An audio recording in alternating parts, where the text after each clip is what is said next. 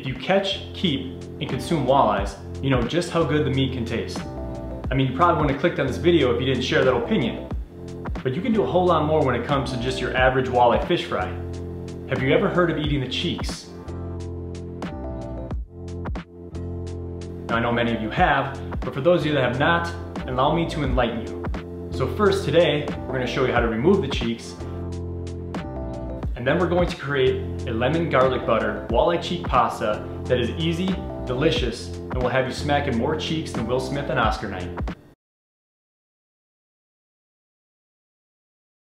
Keep my Walleye cheeks. out your mouth! It's too, it was too easy. It was just, it was too easy. Right, so the first thing you wanna do obviously is locate the cheek. You've got the gill plate here, that's hard. You can kind of see the outline of the cheek here. And this is kind of shaped like a bowl, concave for you geometry majors.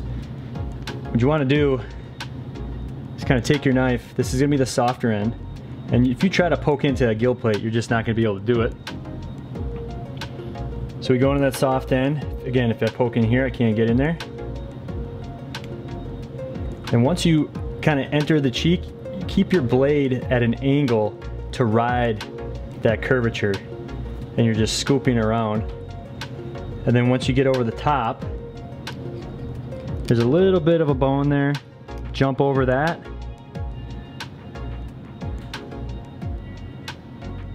Scoop underneath couple slices just to get down to the skin. Take your fingers and rip it right off.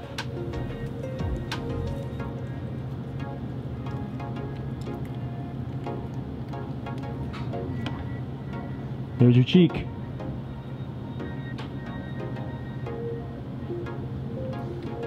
So let's do it again. Obviously, first thing is you know, whatever's comfortable for you inside of the placement of the fish. We're going to this top side first. And a little bit harder to find the spot. Once you enter, we're scooping around.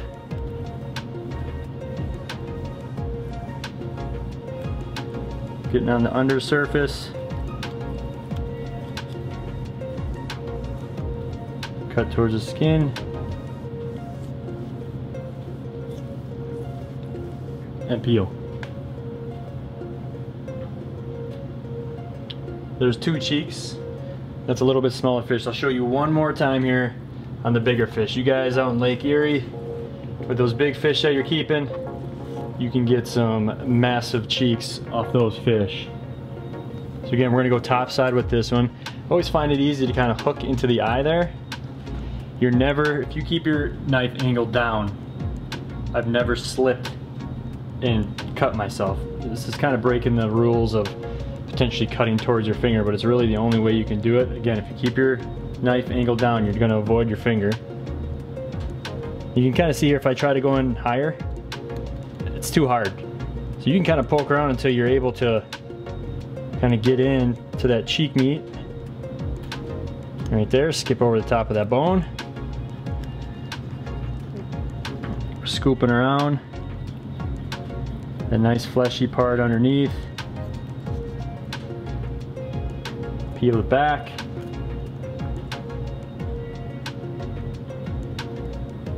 Little slice down to that skin.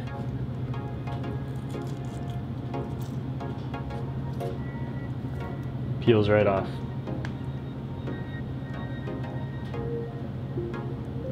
Nice piece of cheek meat there. All right, one last time here. Going in that soft part. Scooping around.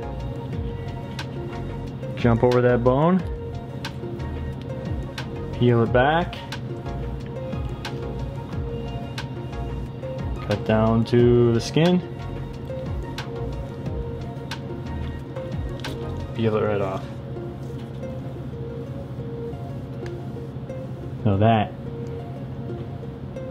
is cheek gold. Into the bucket. So if you've made it this far in the video and you say, I don't have any walleye cheeks, we'll go ahead and use some scallops because that's actually what this recipe is from. If you are going to be utilizing walleye cheeks, it might not be a bad idea to check your local regulations to see how many walleye cheeks you can actually keep. Today we're going to be utilizing 20 walleye cheeks off of 10 fish, but the sauce we're going to make will support much more than that. This recipe requires 4 tablespoons of olive oil, 4 tablespoons of butter, 5 cloves minced garlic, but since I'm lazy and my Uncle Carl gets nervous when I chop things in my videos, I'm using the bottled stuff.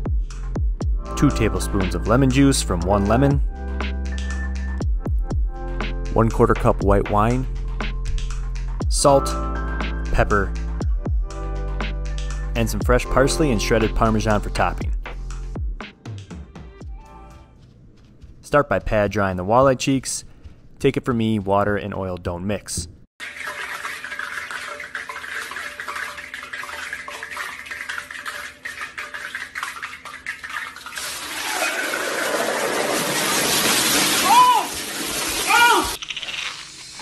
Season with salt and pepper.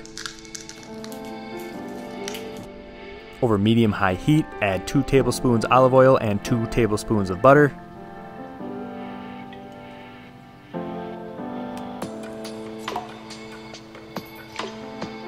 Drop in your walleye cheeks and fry.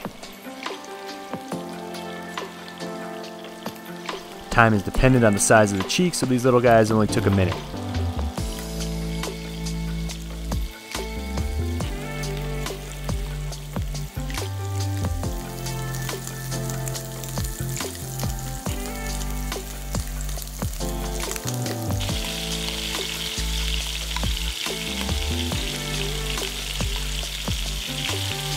Flip and crisp the other side.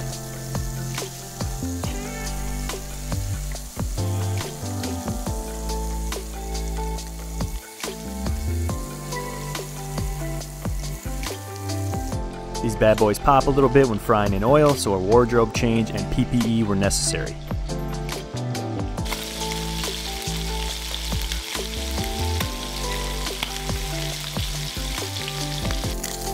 Now remove the cheeks and set aside.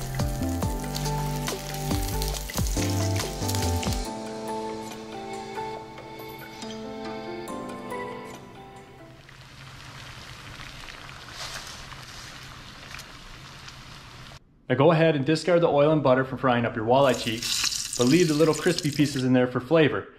We're gonna add two tablespoons of oil and two tablespoons of butter to start the sauce.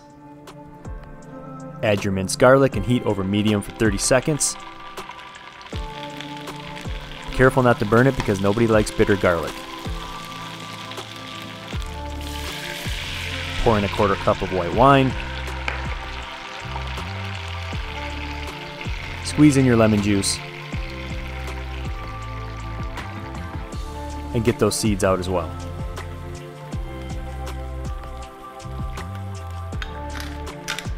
Now season with salt and pepper.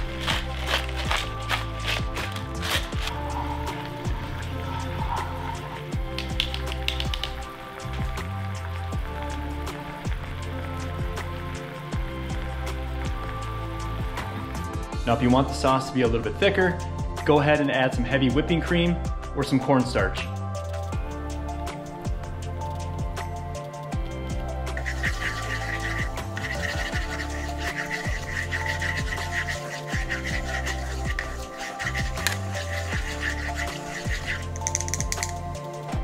Turn off the heat and add your walleye cheeks back into the pan just to warm them a bit.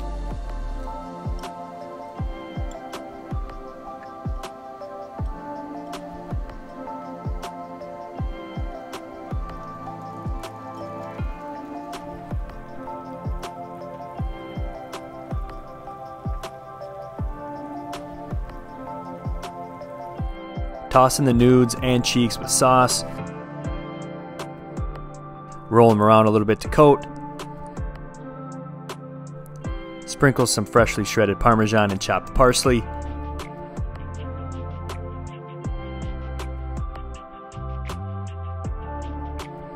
And if that doesn't make you want to save those cheeks from now on, I don't know what will.